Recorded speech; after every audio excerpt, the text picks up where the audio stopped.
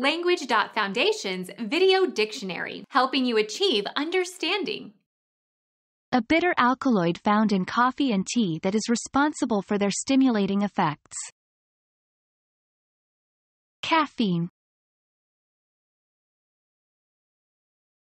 Become our student and get access to effective and free educational materials. Subscribe to our channel to become a part of our growing community and to learn English effectively.